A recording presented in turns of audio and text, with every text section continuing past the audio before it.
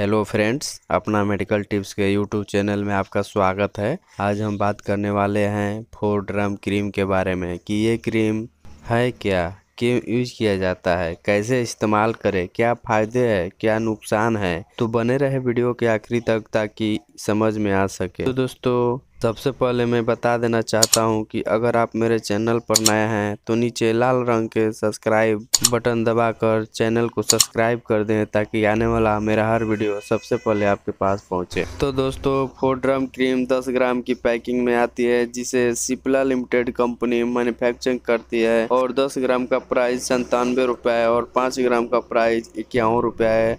और बात करते हैं इसमें डाले गए कॉम्पोजिशन की। तो इसमें कॉम्पोजिशन है clobetasol propionate neomycin sulphate miconazole nitrate and अलरोक्सीडेन fungal infection bacterial infection लाल लाल चकते दांत खाद खुजली त्वचा के घाव संक्रमण जांघों के बीच की खुजली उंगलियों में पानी लगना खुजलाने के बाद लाल चकते में ये क्रीम बहुत बेस्ट काम करता है। क्या होता है दोस्तों कि किसी किसी ने चेहरे को गोरे बनाने के लिए किसी भी क्रीम को यूज़ करने लगते हैं तो ये क्रीम चेहरे को गोरे बनाने वाली नहीं है। ये सिर्फ़ दांत, खाद, खुजली बैक्टीरियल इन्फेक्शन फंगल इन्फेक्शन को ठीक करने वाली क्रीम है। दोस्तों, अगर आपको ज़्यादा प्रॉब्लम है खाज खुजली से और इस क्रीम को लगाने के बाद भी नहीं ठीक हो रहा है तो आप किसी नज़दीकी डॉक्टर के पास अपनी प्रॉब्लम दिखाएँ और डॉक्टर के बताए अनुसार ही किसी मेडिसिन का यूज़ करें। फोड्रम का यूज़ नाखून को खराब होने में भी कर सकते हैं।